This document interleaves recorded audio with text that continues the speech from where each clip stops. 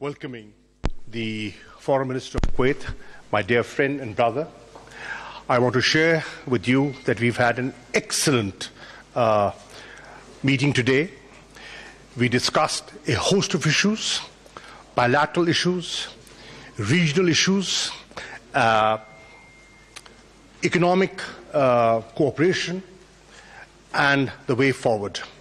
I'm happy to share with you that Pakistan and Kuwait have not only agreed to upgrade our bilateral relations to a different level, we've also agreed on a roadmap for the future. We have set ourselves targets and we have set ourselves a vision of engagement for the future. I'm happy to share with you that we were able to, we were able to um,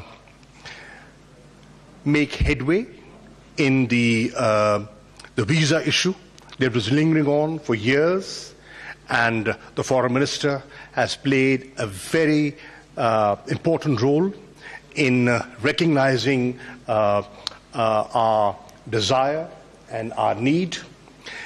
I'm also happy to share with you that they have appreciated Pakistan's contribution uh, in challenging COVID 19 times when they required um, uh, medical technicians for Kuwait. Pakistan was forthcoming. And looking at the professionalism provided by our doctors and nursing staff, they have expressed an interest of uh, inviting more doctors and nurses and technicians to Kuwait. Uh, that is, again, a very welcome development. We've agreed to uh, increase our bilateral trade. We've looked at areas where uh, investments can be promoted uh, in Kuwait and in Pakistan. Uh, we've looked at uh, developing linkages between Gwadar and Mubarak al Kabir port in Kuwait and uh, many other areas, multilateral uh, cooperation. Uh, we've agreed to support each other in so many areas. And I wanted to um, thank the foreign minister that he accepted my invitation when we met in Niamey uh, at the, on the sidelines of the uh, CFM.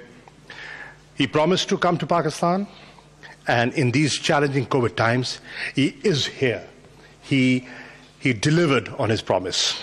And not just delivered on his promise, he, I have seen in him such warmth, affection for Pakistan, and a willingness to move ahead uh, uh, in our bilateral relations.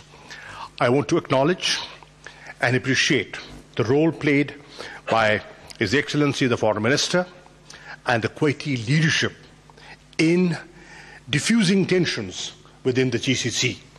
And we've had a discussion over dinner on how things have moved uh, ahead. Uh, he was in Riyadh uh, a day before, and he shared uh, the developments uh, that have uh, that are evolving. And inshallah, we hope with the leadership uh, and the vision provided by them, we can uh, look for, inshallah, a closure uh, in Yemen. Uh, that Pakistan feels, and the Prime Minister of Pakistan, Imran Khan, has always said, an unnecessary war. Uh, we will do our best to bring the Ummah together. So thank you, Foreign Minister. Thank you for coming. Bismillah ar-Rahman rahim My brother Makhdoom Shah Mahmoud Al-Qureshi, uh, ladies and gentlemen, uh, thank you so much for coming this late at night and very abruptly. As my brother Mahmoud has uh, said, I'm uh, here on the invitation of uh, my brother, the Foreign Minister of Pakistan, and under the instructions of the leadership of Kuwait to enhance and promote even further all fields of cooperation between the state of Kuwait and Pakistan.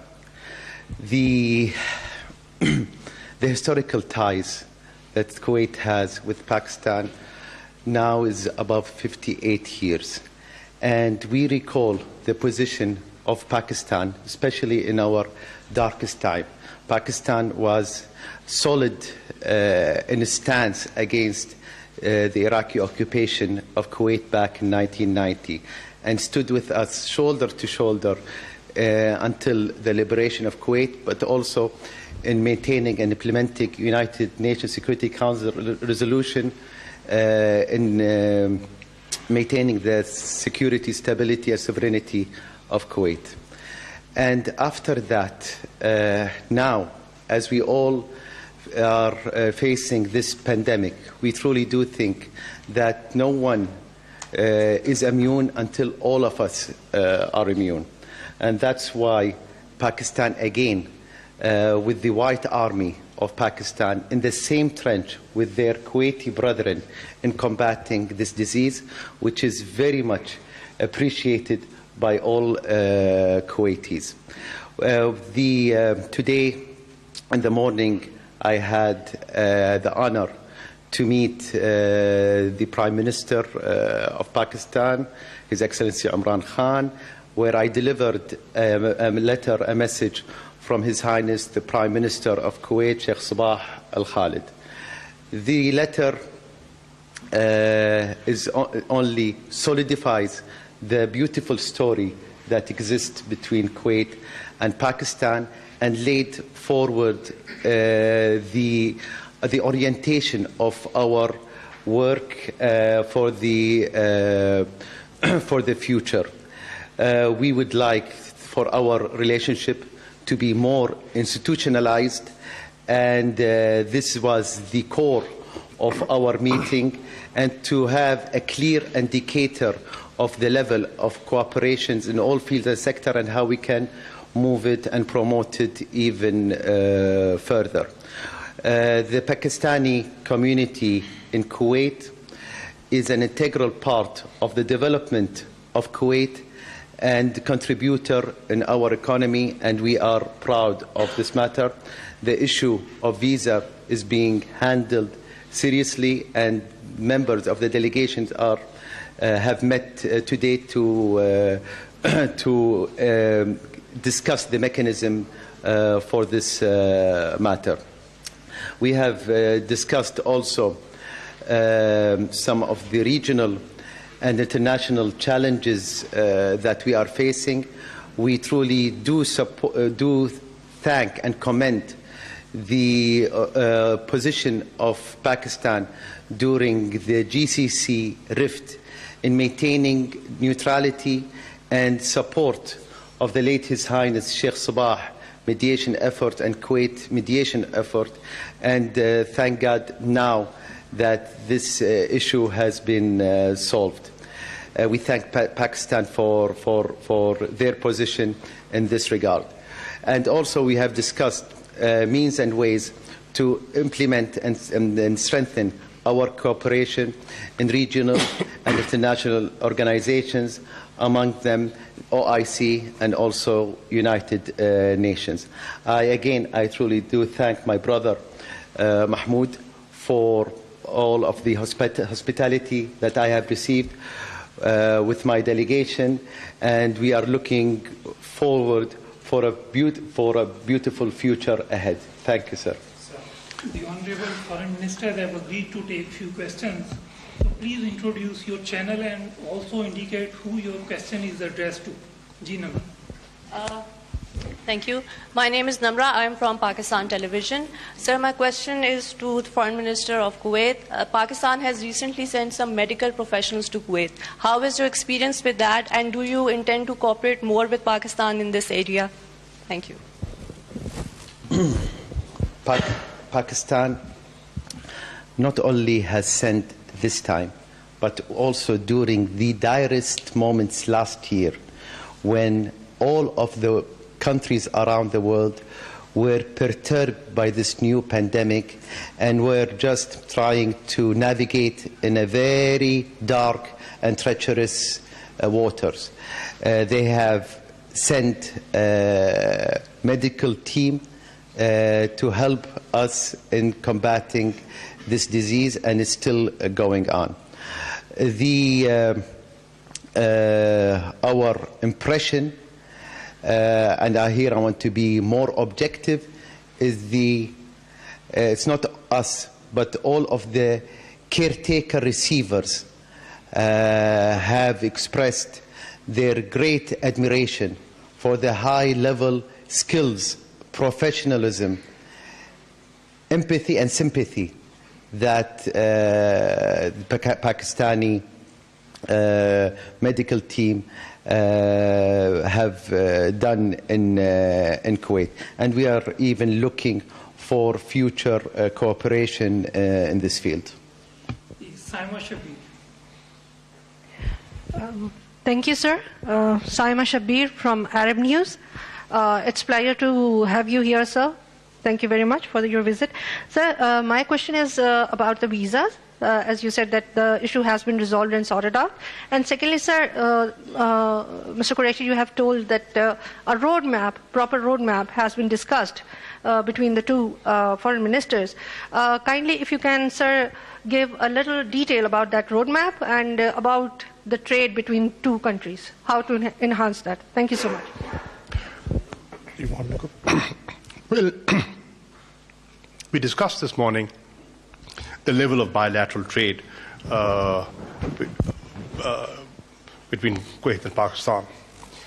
Our bilateral trade is slightly over a billion dollars, but it is nowhere near its potential. We feel by better institutional arrangements and more engagement, it can go up many-fold. Uh, we also see uh, good prospects for investments, and I shared with the foreign minister the friendly uh, uh, regime that we have in place, the high rate of returns uh, people are making who've invested in Pakistan, the ease of doing business, and how Pakistan's ranking has gone up, and why Pakistan should be uh, an attractive destination for Kuwaiti investment. Uh, I also shared with him uh, the opportunities that special economic zones uh, are offering, the incentives that are being offered, uh, the Gwadar zone and other, you know, uh, uh, zones that we are coming up under CPEC. Uh, I also discussed that, the connectivity that it will promote. We have now a clear uh, roadmap, uh, and we can share that uh, with you. It's, it, it's, it's not a classified document. We can share it with the media, what we've agreed upon, how to move forward in different areas, uh, in uh, promotion of cultural ties, people to people linkages, uh, in enhancing our cooperation in the field of education.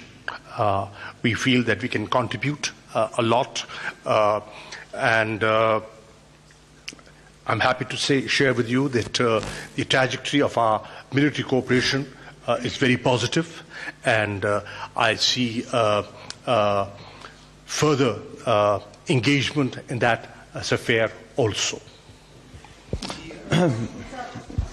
Yeah, yeah. Th- th- well, th- thank you so much. And um I, would only reiterate, reiterate what my dear brother, the Foreign Minister of Pakistan, uh, mentioned. There are lots of potential uh, in cooperation that's still untapped or untapped successfully.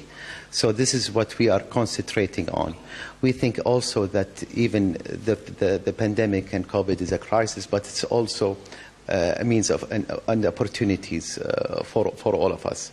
Uh, enhancing, as I said, the medical institutions, sharing expertise in this regard, uh, have, learning from this such, such uh, an, uh, dire experience to have a more immune, potentially, eventually, if such a uh, pandemic reoccurs in the, in the future is, uh, is important for both uh, countries.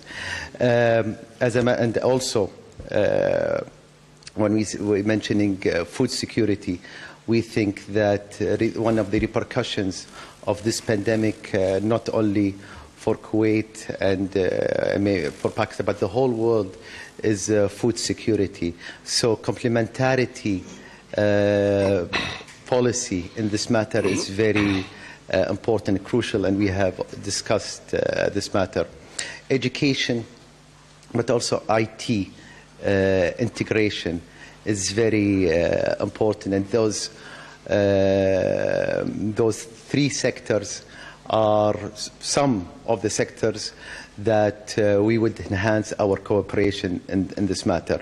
Regarding the visa issue, uh, the relationship between Kuwait and Pakistan is a historical and strong uh, relationship.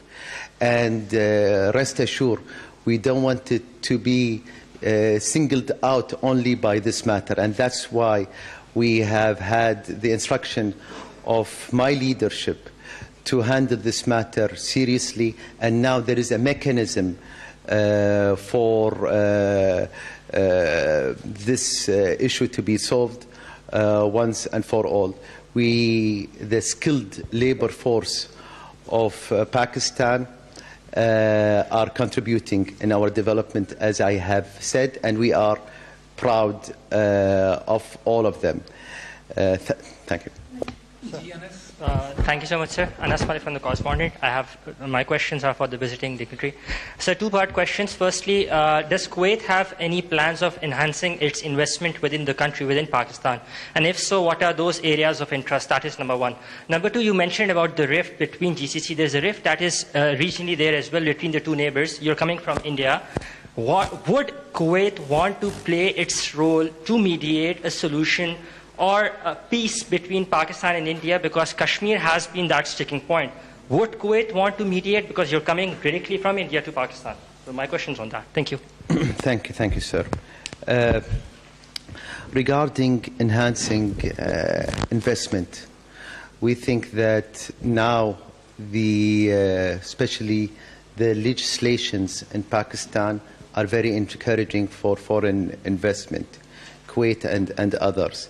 Uh, we have a very vivid uh, private sector in Kuwait and they, are, they have also an adventurous uh, soul. Pakistan is very close to us. It only needs some avenues uh, to further uh, do put more awareness and exploration in this matter. Likewise, in Kuwait, we have uh, lots of regulation that would uh, enhance and secure and encourage foreign investment in Kuwait. So it's a win-win situation, and we welcome the same thing, the, the private sector and investors of Pakistanis uh, in Kuwait. Regarding uh, the issue between India and Pakistan, Kuwait's position is clear. It goes along with United Nations Security Council resolutions and all of the resolutions of OIC. We, we don't want at all any uh, close friends, neighboring countries to enter into tension. We would want uh, every, all of the issues to be solved amicably, and whatever Kuwait uh, can do in this behalf, Kuwait will not hesitate. Thank you very much, sir. This is Naveed Siddiqui from Dawn News. Uh, my question from both the foreign ministers. Uh, Kuwait uh, had been a long time uh, white oil product supplier to Pakistan, and they had uh, an ambitious plan to build a white oil uh, product refinery in Pakistan. Number one. Second part of my question uh, regarding the, the, the, there are uh, some uh, pro problem being faced by the Pakistani manpower power in Kuwait. They are worried about their job security. What will happen in the future? Thank you. Can I? Sorry, I would like to. Um, I, I thanked the foreign minister when we met earlier on for being very generous and sensitive to the livelihoods of Pakistanis working in Kuwait. Uh, and the response that I received was very encouraging. Uh, he is sensitive.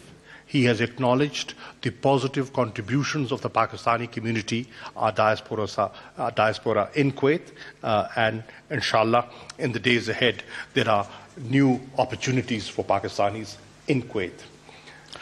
I also um, shared with the foreign minister the uh, the opportunities of uh, uh, oil exploration in Pakistan.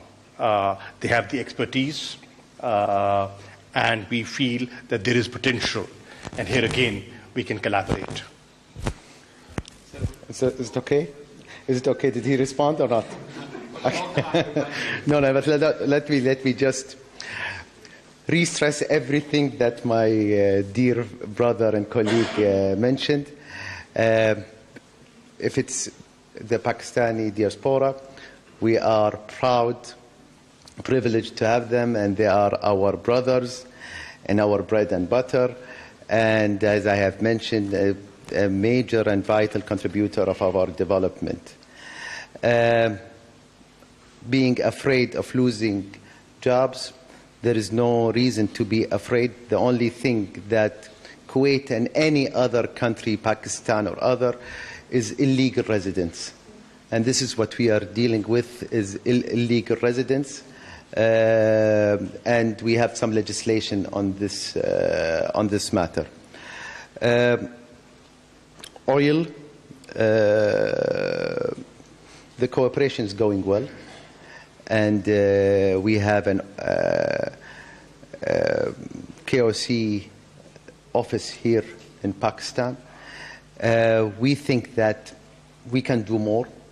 There is a, there is a room for exploring even more avenues of cooperation. We hope that now, as we are institutionalizing our cooperation, we can handle each and every sector properly so we can move forward. I'm uh, Shabir Ahmed from PTV World. Uh, my question is with Honorable Visiting uh, Foreign Minister that uh, uh, as uh, both foreign ministers have said that Pakistan and Kuwait have uh, a clear roadmap, and uh, Foreign Minister Qureshi has uh, explained it as well.